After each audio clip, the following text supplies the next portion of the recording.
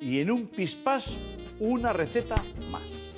Estos tomates, los típicos tomates pera, los pongo aquí así en enteritos y pelados, ¿veis? Cuatro tomates. Eh, a estos tomates les pongo un poquito de sal, un chorrito de aceite de oliva virgen extra y los llevo al horno. Ahí está, perfecto. Lo vamos a tener 15 a 20 minutos. Eso está en marcha. Ponemos aceite de oliva virgen extra, 3-4 cucharadas. Y en este aceite de oliva virgen extra pochamos la cebolla, la cebolleta, los tres dientes de ajo y la zanahoria. Todo picadito.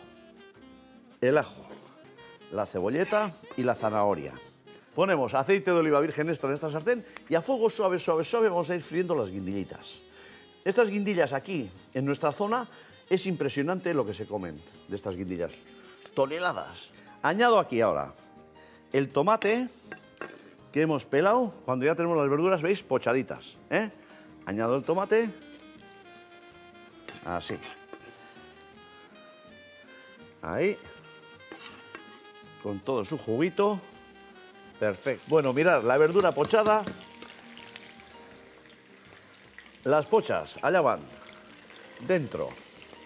Ahora, esto es muy sencillo. Estas pochas las cubrimos con agua, les ponemos el punto de sal, les ponemos la tapa y a cocinar a fuego lento unos 35 o 40 minutos. Sacamos las guindillas, frititas. Así. Les pongo una pizca de sal y listas. Estos se toman platos, la gente tomándose una cervecita, un vinito, un chacolí. Así, cruz, cruz. Y así. Vale. Mirad qué plato. Ahí estamos. Somos lo que comemos, la vida es así, de lo que disponemos. Y para mañana, unas judías verdes con mayonesa de azafrán, como para chuparse los dedos. Eh, a las 7 de la mañana todos los días me hago caquitas. Y digo, ah, pues eso es normal. Sí, pero es que me despierto a las 10.